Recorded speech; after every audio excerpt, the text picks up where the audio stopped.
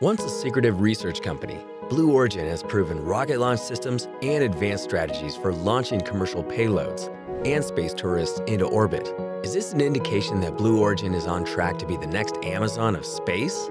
Make sure you watch until the end of the video because today we'll be delving into the history and evolution of Blue Origin, a privately funded aerospace company based in the United States. Like this video and subscribe to the channel if you like our content and want to see more. Now let's get right into today's video. Blue Origin is a private aerospace company founded in 2000 and funded entirely by the world's richest man, Jeff Bezos. Jeff Bezos is the owner of the Washington Post newspaper and the founder and CEO of Amazon. And so far, the majority of Blue Origin's achievements have been funded entirely through his investment. According to the New York Times, he sells $1 billion of his own Amazon stock per year to finance Blue Origin, Bezos' fascination with space travel and the evolution of human life in the solar system dates back to his childhood. When I was five years old, I watched what you just rewatched, and it had a huge impact on me. And it hasn't changed. None of that passion has gone away. This is me in high school, and I want to highlight this quote The earth is finite, and if the world economy and population is to keep expanding, Space is the only way to go. When he graduated from high school in 1982, he was the valedictorian, a National Merit Scholar, and Silver Knight Award winner for science. Following his valedictorian speech, he gave a Miami Herald interview in which he shared interest in developing hotels, theme parks, and colonies for human beings in space. The 18 year old Bezos stated that he wanted to protect the Earth from overuse through resource depletion. When Bezos created Blue Origin in 2000, he began his mission to bring his visions into reality. When Bezos funded Blue Origin, he was aided by several people who helped it get to where it is now. One of the key people in doing so is Rob Meyerson, an American aerospace engineer who led Blue Origin from 2003 to 2017 and was its first president. Working with Bezos, Meyerson led the company's growth from 10 people to 1,500 people during his tenure. Under Meyerson's leadership, Blue Origin developed a New Shepard system for suborbital human and research flights. The full-scale New Shepard vehicle, named after Mercury astronaut Alan Shepard, took to the skies for the first time on April 29, 2015. The New Shepard is a reusable, suborbital rocket system designed for space tourism to take astronauts and research payloads on an exhilarating 11-minute flight into space. Although the initial test flight was a success and the capsule was recovered by parachute landing, the booster crashed and was not recovered due to a loss of hydraulic pressure in the vehicle control system during descent. Despite this rough start, Blue Origin has since successfully launched 15 uncrewed test flights of the New Shepard to date. As of April 2021, the company has not yet flown any humans with the rocket, but with the next flight of the New Shepard, which will be NS-16, the company has indicated it may aim to carry a crew. Blue Origin is also developing the New Glenn system, named after pioneering astronaut John Glenn, for orbital human and research flights. Let's talk about New Glenn.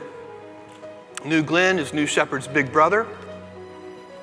New Glenn is big enough that New Shepard will fit in the payload bay of New Glenn. It's 3.9 million pounds of thrust. It's a very large vehicle. New Glenn is a two-stage heavy-lift rocket with a diameter of 7 meters, or 23 feet, capable of carrying people and payloads to Earth orbit and beyond. Blue Origin is also designing and manufacturing the BE-4 engines that will power the first stage. With a combined thrust of nearly 4 million pounds, Blue Origin claims that New Glenn will carry twice as much cargo into space as any other launch provider in the market.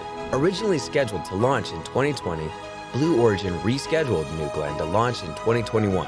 However, in February 2021, this was ultimately pushed back to no earlier than the fourth quarter of 2022. Although Blue Origin is headquartered in Kent, Washington, its engineers oversee most launches from a private suborbital launch and engine test site on Bezos Ranch just north of Van Horn, West Texas. Blue Origin is also currently constructing an orbital launch facility at Cape Canaveral Air Force Station in Florida, a nearby rocket construction facility, and a $200 million rocket engine production facility in Huntsville, Alabama. Today, we see publicity surrounding Blue Origin and its activities. However, things were not always that way by design. The company's activities were usually kept under wraps during the early years. In fact, the existence of Blue Origin was only revealed in 2003 when Bezos started purchasing land in Texas. Unlike Musk, who gets most of the attention with SpaceX and has advanced further than anyone else, Bezos prefers to work quietly on his projects. Blue Origin's logo is quite simple and includes a modest feather overlaid on top of Blue Origin. Bezos has commented that the feather is simple, that it's a symbol of the perfection and freedom of flight. Blue Origin also has a motto, which is Gradatim Ferociter, Latin for step by step, ferociously. All right, Gradatim Ferociter, that's how we pronounce it, and um, I'm not actually, I actually have been told that's not the right way, but that's the way I like to say it. And um, Gradatim Ferociter, and uh, it means step by step ferociously. And that's why we have, you'll see the two tortoises up there. Our mascot is the tortoise because we believe uh, slow is smooth and smooth is fast. Additionally, Blue Origin has created its own coat of arms, complete with turtles, a three winged hourglass, which is a Victorian cemetery symbol that means time is fleeting, and various numbers on a shield, which correspond to the velocities required to reach various altitudes. So, ingrained in this idea, the turtle being slow and steady, Blue Origin's team actually paints a tortoise on the capsule's hatch after each successful New Shepard flight. The company's name itself provides a hint about its long term goals. Blue Origin's goal is to develop technologies to enable human access to space at a dramatically lower cost and increased reliability. Though Bezos has repeatedly said that humans should not desert Earth in search of a better home. Instead, he hopes to see millions of people living and working in space, eliminating heavy industry and power generation from Earth and preserving the planet.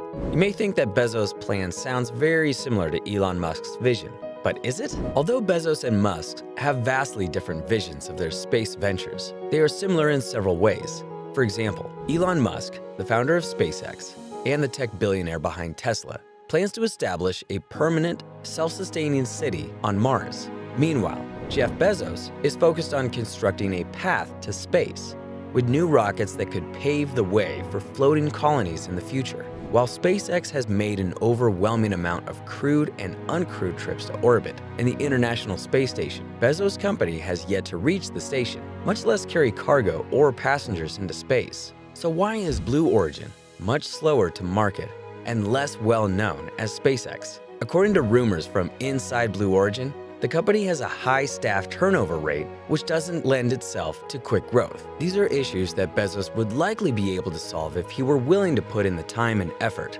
Currently, however, he only devotes one day a week to Blue Origin, which doesn't seem to be enough to fulfill the company's lofty ambitions. However, this could change soon. In February 2021, Bezos announced that in the third quarter of 2021, he would step down from his role as CEO of Amazon. Bezos would not retire entirely, but will take on the executive chair of the Amazon board. This announcement has sparked a wave of rumors about what will happen next. Blue Origin and space exploration will likely take up most of Bezos' time and other aspects like climate change, politics, and philanthropy. In a letter to Amazon employees on February 2nd, 2021, Bezos explained that he needed to focus on Day One Fund, the Bezos Earth Fund, Blue Origin, the Washington Post, and my other passions. Bezos said, I've never had more energy, and this isn't about retiring.